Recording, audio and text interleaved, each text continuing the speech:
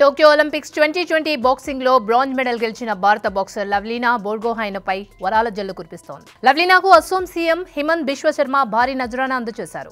కోటి నగదు ప్రోత్సాహకం అందజేయడంతో పాటు పోలీస్ శాఖలో డీఎస్పీగా ఉద్యోగాన్ని ప్రకటించారు.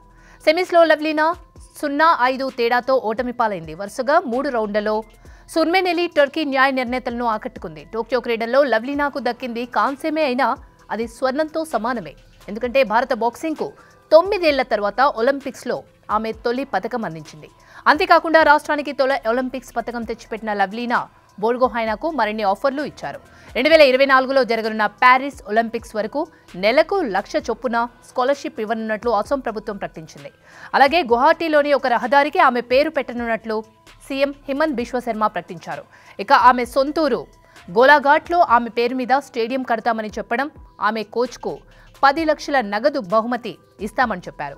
ఒలింపిక్స్ ట్వంటీ ట్వంటీలో కాంస్య పథకం గెలిచిన తర్వాత తొలిసారి గౌహటి చేరుకున్న లవ్లీనా బొడ్గోహాయ్కు ఘన స్వాగతం లభించింది.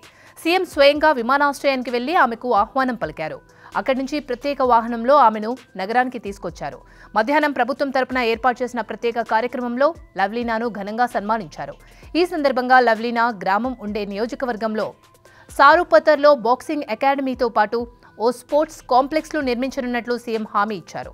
గ్రామీణ క్రీడాకారుల ప్రతిభను వెలికి తీయడమే లక్ష్యంగా ఈ కార్యక్రమం చేపడుతున్నామని అన్నారు ఒలింపిక్స్ ట్వంటీ ట్వంటీలో తొలిసారి రాష్ట్రానికి పథకం తీసుకురావడం ద్వారా లవ్లీనా పేరు చరిత్ర పుటల్లో స్వర్ణాక్షరాలతో లిఖితమైందని అసోం సీఎం హేమంత్ పేర్కొన్నారు.